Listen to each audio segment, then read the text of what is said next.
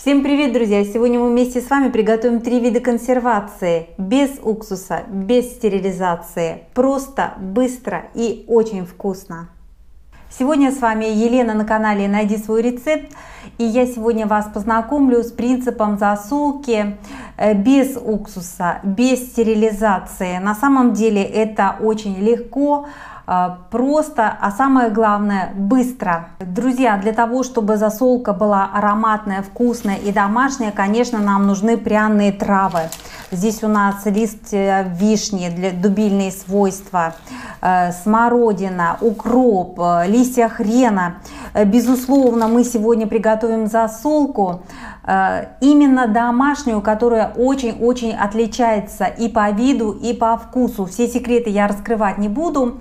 Следите, пожалуйста, за видео. Мы должны вместе с вами хорошо подготовить продукты. Огурцы мы должны заранее замочить, если они у вас не только что собраны из грядки желательно часа на 3-4.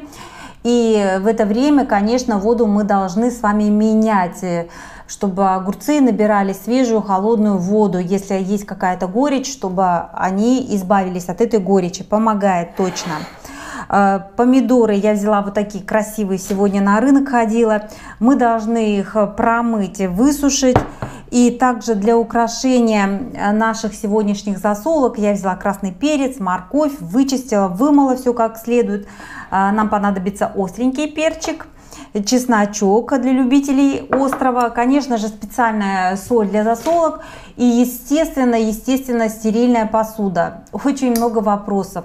Э, можно ли не стерилизовать посуду? Ну, я не хочу стерилизовать, потому что э, и так мы овощи не стерилизуем, а почему мы должны посуду стерилизовать? У меня мама давным-давно делала засолки, она не стерилизовала банки, она их как-то выжаривала на солнце. Ну вот мы другое поколение. Я лично стерилизую банки в духовке при температуре 100 градусов минут 15-20. Я приступаю. На дно банки мы должны по вкусу положить душистый перец. Я сразу же буду готовить несколько видов засолок. Мы, пожалуй, будем все сразу же готовить. Все банки я буду все э, засыпать практически одними специями. Перчика кладу по 5 штучек, он очень-очень ароматный, крупный, душистый перчик. Сейчас покажу вам его размерчик. Вот такой вот он, как горошинка, достаточно крупненький. Вот таких вот нам по 5 штучек будет достаточно. Обязательно кладем лаврушечку. Также по 2, по 3 штучки. То же самое, будет достаточно. Знаю, что не все любят гвоздику. Э, мне лично гвоздика симпатична. Можете использовать корицу. Она тоже определенным ароматом обладает. По 3, по 4 штучки гвоздички будет достаточно. Я лично гвоздичку обожаю. Как я уже и говорила, чеснока мы не будем класть много, потому что он нашим овощам дает мягкость. На двухлитровую банку я положу 3 зубчика чеснока, этого достаточно. Э, кладем обязательно листья хрена, аромат.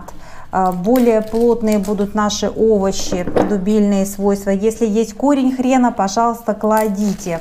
Любую посуду берите. Э, посуда не влияет на засолку. Самое главное, чтобы она была хорошо промыта. Обязательно кладем укропчика. Ох, он придаст аромат. Уже, я чувствую, пахнет вот нашими засолками очень-очень так аппетитненько. Какой банки начать? Все засолки быстрые, приятные. Я, пожалуй, начну вот с самых красивых помидорок. Я выкладываю их в такую бутылку. Это бутылка из-под вина. Очень-очень красиво смотрится. Бутылка волшебная, в нее прям входит достаточно большое количество таких помидор. Они такие красивые и очень аппетитно смотрятся. Самое главное, они домашние. Представляете, э, половину бутылки мы выложили. Я опять кладу листок хрена. Да, безусловно, вы можете взять любые помидоры, просто мне вот так вот приглянулось, захотелось именно э, маленькие помидорки, они такие аппетитные, и я люблю что красиво смотрится, можно кому-то в презент подарить. Будет очень приятно. Теперь я кладу желтые помидоры. Желтые помидоры кладем сверху, потому что они более нежные и более мягкие в зависимости от того и в сравнении с красными. Помидоры мы с вами сделаем острые. Я добавлю небольшое количество красного перца. И с помидорами у нас закончено. Очень-очень красиво и оригинально. Э, сейчас у нас на подходе огурчики. Э, в огурцы я сразу же положу горчицу. Добавки можете делать или не делать по своему вкусу. Но ну вот с горчичкой огурчики небольшие э, будут кстати. Я выкладываю огурцы. У огурчиков мы обязательно срезаем попочки. Так они равномерно просолятся и, конечно же, большее количество у нас войдет. А, посмотрите, как я выложила огурцы. А, так более плотно и больше огурчиков входит. Опять мы делаем промежуток. Я выкладываю а, веточку укропа и листочки хрена. Так, и мы, наверное, в огурчики, как всегда, положим веточку смородинки для аромата. Зубок чеснока я разрезаю пополам и тоже добавляю к огурчикам. Опять выкладываю чайную ложку горчицы.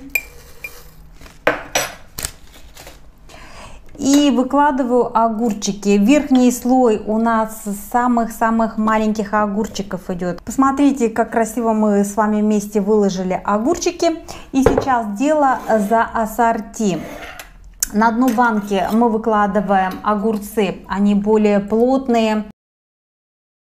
Огурчики мы с вами выложили, и сейчас я хочу украсить наше ассорти, чтобы оно было красивым.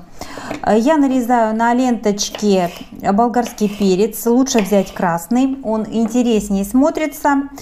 Так, досточку вот я не положила, что-то все торопимся, хотим побыстрее. Ладно, вот так разрежу.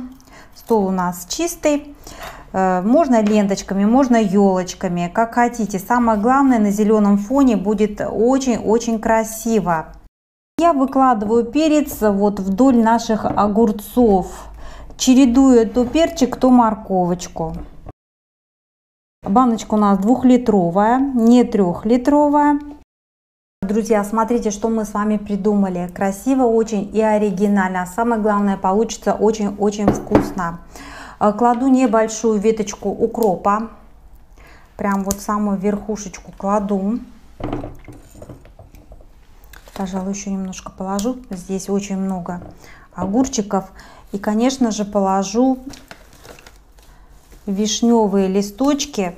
Несколько штучек. Тоже будет достаточно красиво. Даже постараюсь эти листочки тоже так вдоль баночки положить, чтобы было у нас с вами по-домашнему. Можно использовать дубовые листочки, смородиновые листочки, также э, черемухи. Вот в этом году у нас никак в лес не получается сходить. Очень часто, особенно в детстве, когда мы росли, мы почему-то использовали больше смородиновые листочки. И очень-очень было вкусно. Вкус с детства. Спасибо маме. Так, выложили мы листочки с вами. И теперь я выкладываю томаты. Э, так как томаты у нас красные, они поплотнее, чем желтые, э, второй слой мы кладем красных томатов. Я специально думала, вот красный или желтый, красный или желтый. А потом думаю, все-таки на фоне зеленого э, интереснее смотрится красный цвет. И решила положить красный. Выкладываю желтые томаты. Помидоры мы тоже стараемся уплотнить, чтобы как можно больше у нас вошло. Сверху я кладу небольшие. И сверху также положу лист хрена и вот таких вот парочку маленьких зубков чеснока. Пускай еще две морковки тоже будут. Спасибо, друзья, за комментарии. Хочу вас поблагодарить. Столько советов, столько отдельных всяких подскажите то-то, то-то, как сделать. Вот, пожалуйста, мы подсказываем, как быстро-быстро сделать э, заготовки без уксуса и без стерилизации. Мы заложили все банки, ну, минут 15, может быть, я потратила со всеми нарезками и объяснениями. Э, теперь нам нужно подготовить кипяток. Кипятком, варом мы заливаем нашу консервацию. Э, не торопимся, потихоньку, не надо слишком лить, чтобы в избежании, э, чтобы баночки наши не треснули, чтобы не было у нас ЧП. Накрываем стерильными крышками. Э, крышечки мы обязательно хорошо промыли и прокипятили. Не забывайте, баночка у нас должна быть полная залитая кипятком. Я накрываю и на 10 минут мы отставляем в сторонку. То же самое делаю и с огурчиками. Заливаем томаты. И то же самое даем остыть. Баночки наши остыли и мы сливаем с вами воду. Вот муж мне подсказал, чтобы помидоры не высовывались наружу, можно сделать укропными палочками вот такой вот крест, и они будут очень хорошо держаться. Мы воспользовались этим мужской, мужской подсказкой. Я же сливаю воду, так как мы ее не замеряли, э, для приготовления рассола нам нужно знать точное количество воды. Я выливаю в мерную кружку, мне так удобно. И как же нам быть э, с горчицей? Э, конечно, мы должны сохранить нашу горчицу так, чтобы она у нас не перелилась в другие банки. Поэтому просто я одеваю марлечку или же бинтик э, на банку, чтобы горчичное семя наше не вылилось в общий рассол. Друзья, у нас получилось 600 миллилитров, литр и 600 миллилитров. Мы будем с вами рассчитывать как на полтора литра рассола. У всех вкусы разные. Кто-то любит сладковатую засолку, кто-то любит такую нейтральную, чтобы было немножко сладко, немножко солененько, в меру все. А, кто-то любит больше соли. А, значит так, выбирайте все по своему вкусу. Мы сегодня будем делать среднюю засолку. Мы будем класть на литр рассола, будем брать 2 столовых ложки соли. Соль мы обязательно берем для засолки каменную. А, соль берем без горки. Раз, два. Так как у нас полтора литра, значит мы берем 3 столовых ложки соли. И то же самое мы берем сахара. На 1 литр рассола мы берем 3 столовых ложки сахара. Ставим до плиту, а, доводим до кипения. Как только наш а, рассол закипел, мы сразу же им заливаем наши баночки. Рассол мы закипятили, он у нас прямо вар, кипяток горячий. И мы с вами вместо стерилизации, чтобы нам банки не стерилизовать, чтобы, не дай бог, они треснут, лопнут, вместо уксуса будем сегодня добавлять лимонную кислоту. На 2 литра, на 2-литровую банку мы добавляем 1 чайную ложку без горки. Я заливаю горячим рассолом. Друзья, если вы будете работать с кипятком, то, пожалуйста, будьте аккуратны. Нам нужно, чтобы раствор полностью закрыл все наши овощи, э, чтобы как можно меньше у нас с вами осталось воздуха. При консервации воздух это яд. И плотно мы должны закрыть с вами банку, закрутить со всех сил, э, так, чтобы она у нас была герметично закрыта. Вот чем плотнее, тем лучше. Э, я проверяю сразу же банку на герметичность. Я переворачиваю.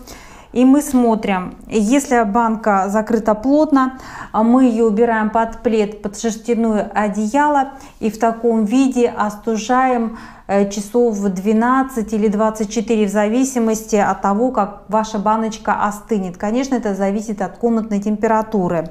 Мы герметично очень закрыли банку. Я перехожу к следующим консервам на литровую баночку мы берем чуть больше половинки чайной ложечки лимонной кислоты и заливаем то же самое рассолом.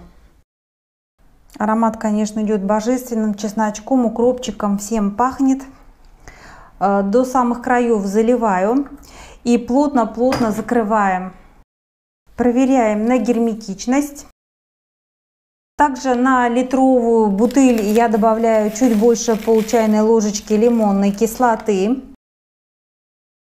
Немножко не хватило нам рассола, а поэтому мы скипятили вар кипяток и я подолью чуть-чуть водички горячей. Э, имейте это в виду. Друзья, мы затратили чуть больше часа. Великолепные красивые консервы на зиму мы приготовили без стерилизации, без уксуса. Я желаю вам таких же легких и прекрасных заготовок, красивых. Порадуйте себя и свою семью. Пробовать мы, конечно, будем обязательно, но не сейчас. Э, красота великолепная. Э, до новых встреч. Пишите нам комментарии, я обязательно отвечу. Ставьте лайки и, конечно же, подписывайтесь на наш канал. Найди свой рецепт.